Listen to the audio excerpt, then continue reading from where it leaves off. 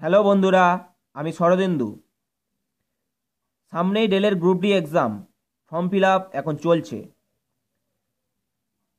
সামনে group D এক্সামের জন্য কোন টপিক থেকে কত নম্বর কোশ্চেন আসছে, এটা বিগত বছরের ট্রেড অ্যানালিসিস করে বানানো।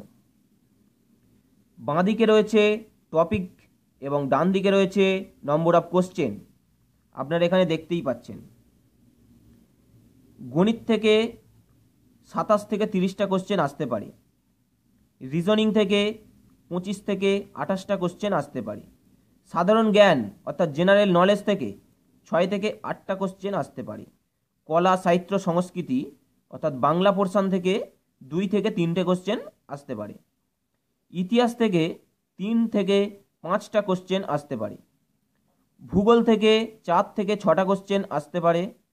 ভারতীয় সংবিধান থেকে দুটো কোশ্চেন আসতে পারে। ভারতীয় অর্থনীতি থেকে একটা অথবা দুটো কোশ্চেন আসতে পারে। পদার্থবিদ্যা থেকে তিনটে কোশ্চেন আসতে পারে। রসায়ন থেকে দুটো কোশ্চেন আসতে পারে। জীবন বিজ্ঞান থেকে তিনটে অথবা পাঁচটা কোশ্চেন আসতে পারে। পরিবেশ বিজ্ঞান থেকে কোশ্চেন নাও আসতে পারে, আবার একটা আসলেও আসতে পারে। খেলাধুলা থেকে তিন থেকে চারটে কোশ্চেন আসতে পারে।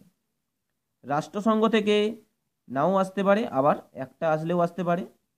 কম্পিউটার ও তথ্য প্রযুক্তি থেকে দুই থেকে চারটে কোশ্চেন আসতে পারে। সাম্প্রতিক ঘটনাসমূহ থেকে পাঁচ থেকে আটটা কোশ্চেন আসতে পারে। আশা করি বন্ধুরা, এই ট্রেড অ্যানালিসিসটা ফলো করে আপনারা উপকৃত হবেন। আর আমার ভিডিও ভালো লাগলে আপনারা অবশ্যই সাবস্ক্রাইব করে দেবেন। Best of luck